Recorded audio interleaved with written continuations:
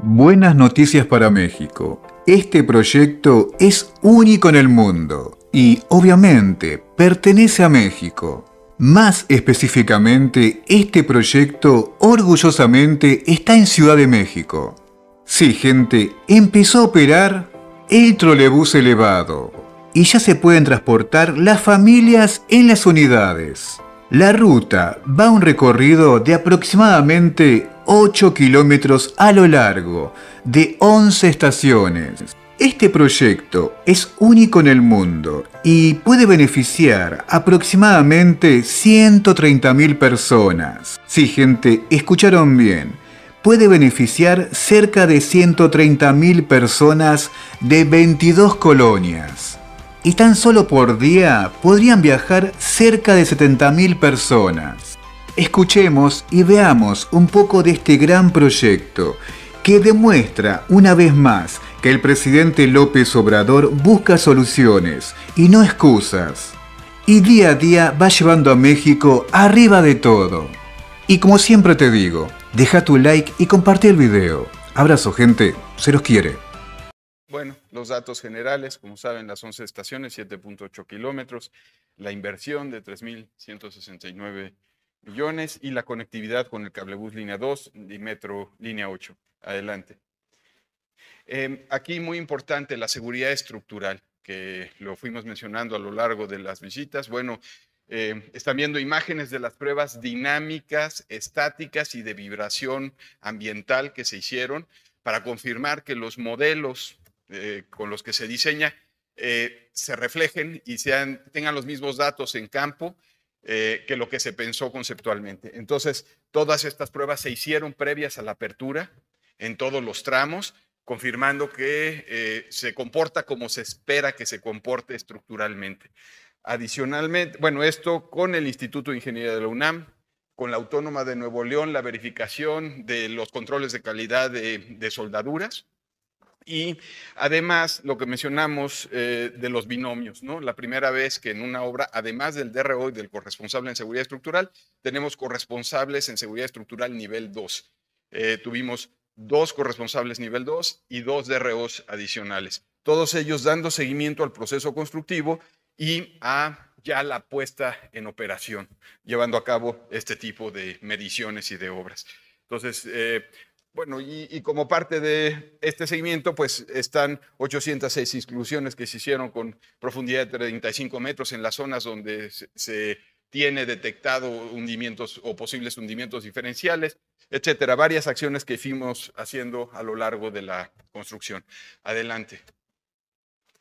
Y bueno, como eh, lo hemos mencionado también, toda la obra alrededor del trolebús elevado, los senderos seguros, 7.1 kilómetros, eh, con todas las luminarias, con todo lo que esto ha representado como beneficio, eh, con murales, con alumbrado, con la repavimentación de 300 mil metros cuadrados, con la construcción eh, ahora de cruces seguros para conectar con las estaciones, más todo pues, lo, que sembramos árboles y plantas y arbustos. Para fortalecer el transporte y movilidad en el oriente de la ciudad, se construyó el trolebús elevado. Cuenta con 11 estaciones. Tiene una longitud de 7.8 kilómetros. Beneficia habitantes de 22 colonias de Iztapalapa y potencializa la movilidad de personas entre el oriente y el poniente de la ciudad. Trasladará 83 mil pasajeros al día en un tiempo promedio de 30 minutos en todo el trayecto, con criterios de accesibilidad universal. El trolebús elevado es una obra en crecimiento y está planeada para lograr plena conexión. El trolebús elevado transforma la movilidad y el entorno urbano en una ciudad innovadora y de derechos. Les voy a eh, contar un poco cómo ha sido el inicio de operaciones del trolebús elevado. Como saben, el, eh, el día sábado inició a las 5 horas de la mañana de manera ordenada, sin contratiempos, eh, el servicio que va de Acahualtepec a Constitución de 1917, como eh, se anunció. El servicio fue gratuito ese día y registramos una afluencia de alrededor de 49 mil personas.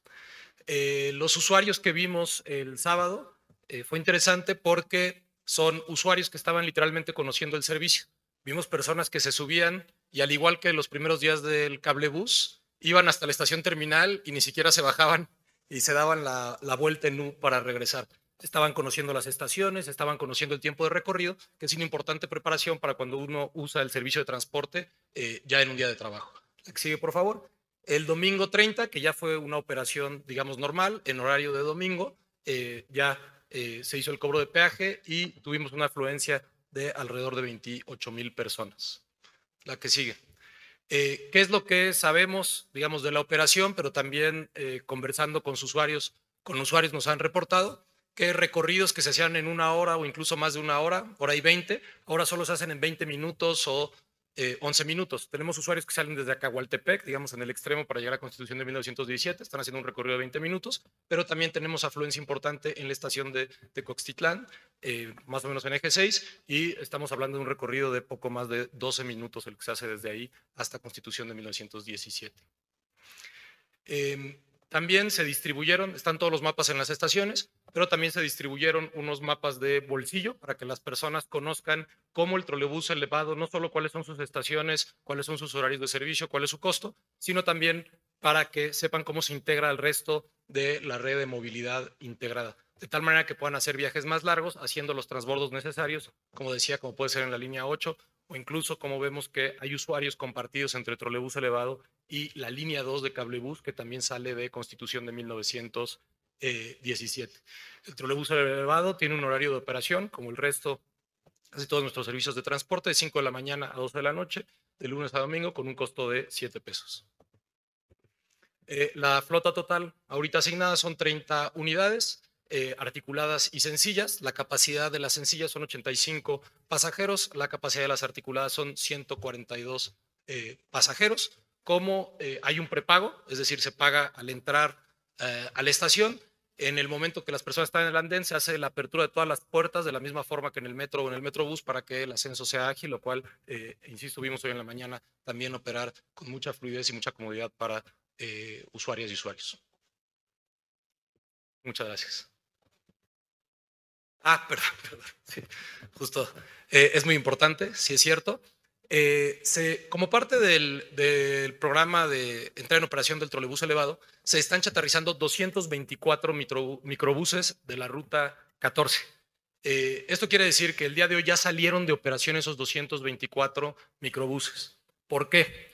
Porque para eh, que la empresa de concesionarios que ahora opera una parte del trolebús elevado pueda operar, se extinguieron esas 224 concesiones y las unidades Físicamente están ahorita ya en dos patios, en donde empieza el proceso de chatarrización, que eh, les mostraremos eh, imágenes en estos días de cómo se va chatarrizando cada una de esas unidades. Muchas gracias. Pues ya operando el trolebús elevado, son 224 microbuses que son sustituidos en total por, los 20, por los 30 trolebuses. 30 trolebuses que están ya operando, de los cuales una parte, los, son 14, 14 de los concesionarios que tenían los microbuses y el resto del sistema de transporte eléctrico. Ya llegaron más trolebuses, si fuera necesario, se incorporarían más trolebuses. Y están ya en obra las dos bajadas que van a ir hacia Miscuac. Entonces, el trolebús estará operando desde la Universidad Autónoma de la Ciudad de México hasta Miscuac en algunos seis meses más o menos, ¿sí? Y después, la siguiente parte, que es hacia Chalco, ya la estaremos presentando, porque la estamos desarrollando con Secretaría de Infraestructura, Comunicaciones y Transportes y con el Estado de México. ¡Viva México! ¡Viva México! ¡Viva México!